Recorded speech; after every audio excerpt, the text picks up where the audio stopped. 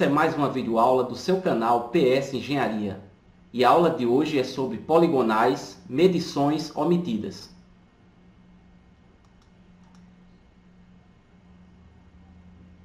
Vamos começar fazendo algumas considerações. Falta de alguma informação angular e ou distância nos dados coletados em campo, por algum motivo justificável. Chamar bem atenção que é uma situação que não é desejável pois não haverá meios de mensurar a precisão das medições realizadas. Então, para ilustrar, elencamos algumas das razões para que isto aconteça. O terreno pode ser difícil, por exemplo, uma mata fechada, alagados, etc. Obstáculos intransponíveis, montanhas, edificações, etc. Acesso ao local não autorizado, e o que fazer nesses casos?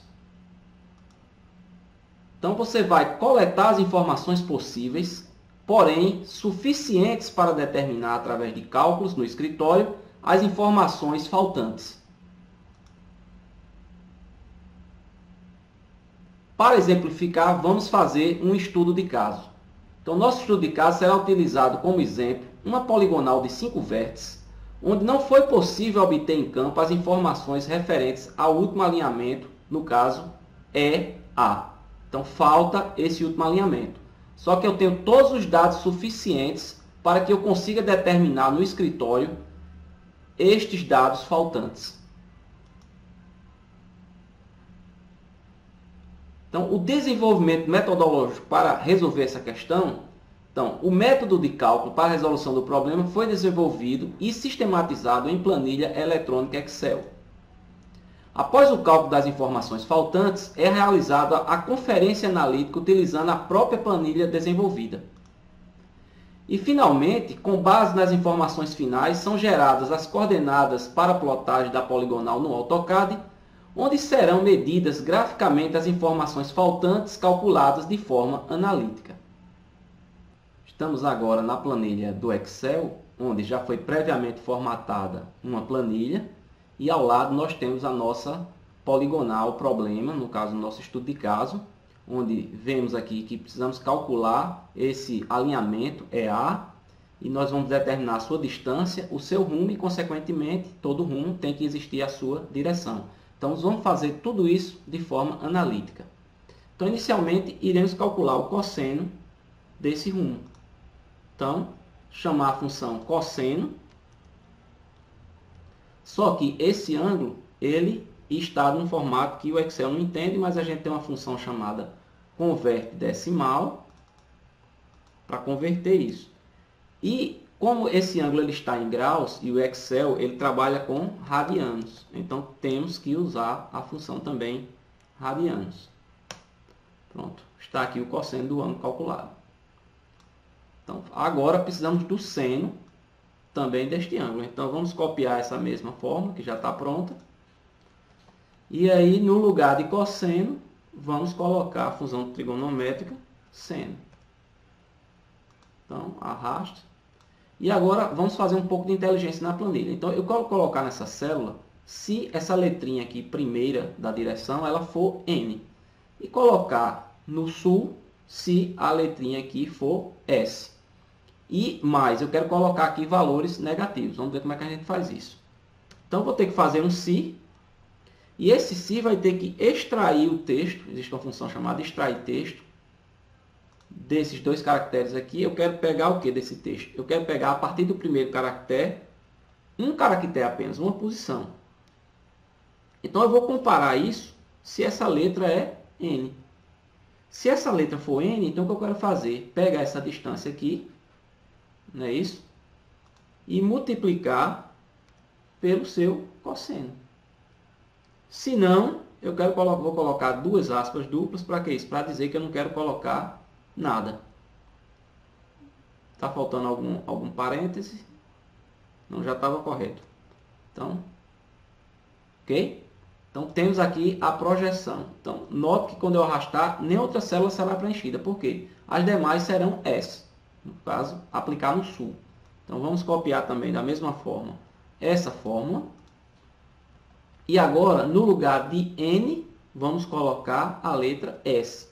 E mais, como eu quero que os valores apareçam negativos, eu tenho que multiplicar também por menos 1. Então, veja que na primeira célula não apareceu, mas nas outras vão, vão aparecer. Por quê? Porque existe a letra S.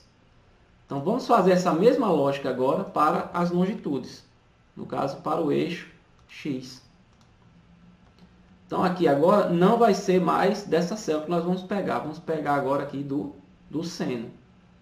E tem outra diferença que nós temos que colocar. Então, a gente vai comparar agora, no caso, a letra, é se é leste ou é oeste. E essa posição não é mais a posição 1. É a posição 2 um caractere. Então, nesse caso, eu vou comparar com a letra norte, que é meu positivo. Então, veja que ele não fez nada. Por quê? está ali. Aliás, norte não, desculpe. A gente vai colocar aqui é leste. Isso, por isso que não deu certo.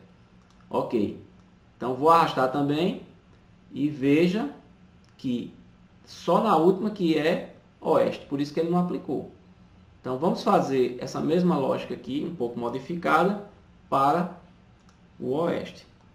Então, trocar essa letrinha aqui por W, e da mesma forma, como eu quero que apareçam valores negativos, eu vou multiplicar por menos 1. Não só deverá aparecer aqui na última, em negativo.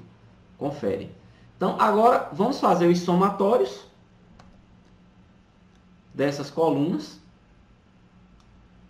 Então, feito o primeiro, eu posso arrastar agora e fazer os demais somatórios. E quem é meu erro de latitude? É a soma dessas duas quantidades aqui, no caso do, do, da latitude, e também o longitude, também somatório desses dois valores. Então, igual esse valor mais esse. E a mesma forma, esse valor mais esse. Então, quem será a minha distância? Vejam, isso aqui são projeções, são catetos de um triângulo retângulo, onde a hipotenusa é exatamente essa, esse alinhamento aqui. Então, é só fazer raiz quadrada desse número aqui ao quadrado, mais esse outro número aqui também ao quadrado. Então vejam que esse é o meu lado omitido. Então ele tem 1079,59 metros. Então o rumo, vamos raciocinar agora, o rumo ele é a tangente. É, no caso, como eu quero o ângulo, então ele é o arco tangente do Oposto sobre adjacente, no caso de topografia, o, o nosso oposto será sempre o x e o adjacente o y. Então seria LO sobre LA. Então isso é igual a ATAN, que é a função de arco tangente, desse valor aqui sobre este outro valor. Então, ATAN. Veja lá, vocês estão vendo que deu um valor negativo. Então vocês têm que ter cuidado porque a tangente ela não pode ser negativa. Se eu for, se eu for pegar, é, então eu coloco ABS, aquela função absoluta, certo? E o que é que aconteceu? Esse valor aqui que vocês estão vendo, ele está em radiano, da mesma forma. Porque o, o, o Excel só trabalha em radiano, então precisamos ainda colocar aqui por fora a função graus, para transformar esse ângulo em graus. Então vocês estão vendo agora que já, o ângulo já está em graus, só que eu quero exibir daquela forma, graus, minutos, segundos. Então vou colocar aquela função ainda por fora aqui, converte degree. Pronto.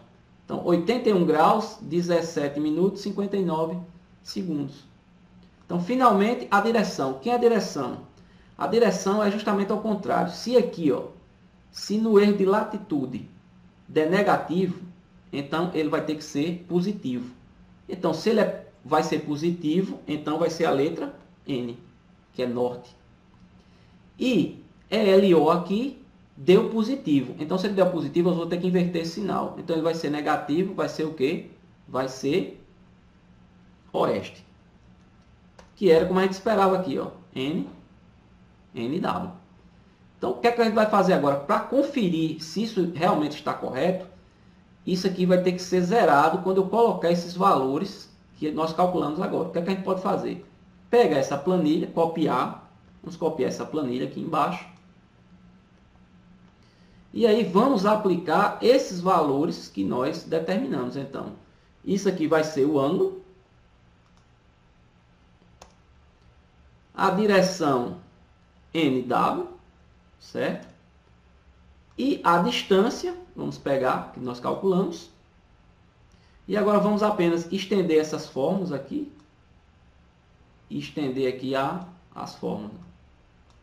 Pronto, agora está correto. Então, vocês vejam, se eu diminuir aqui essa precisão dessas casas decimais, esses valores deram aproximadamente zero. Então, está mais do que provado que está correto o que foi calculado. E agora vamos fazer a última parte que seria conferir isso no AutoCAD. Bom, estamos com a figura já previamente desenhada no AutoCAD e vamos calcular agora, medir esse, esse ângulo, no caso aqui, que será do norte até encontrar esse alinhamento. Certo? Que, no caso, se fosse o azimuth. Como é o rumo, o rumo é só do norte até esse alinhamento. Então, vamos ver quanto é que vale esse ângulo. Vamos pegar na dimensão Vamos pegar a ferramenta de medição angular e veja qual foi o ângulo que nós obtivemos. 81 graus e 18. Certo? Que seria o rumo. E se a gente quiser saber a distância, a gente só vai dar dois cliques aqui, ó. 1079 e 59. Certo? Então, isso aqui comprova a como, como foi correta a nossa, o nosso cálculo analítico. Se você gostou da videoaula assistida, compartilhe o vídeo com os seus amigos e registre o seu like. Até a próxima!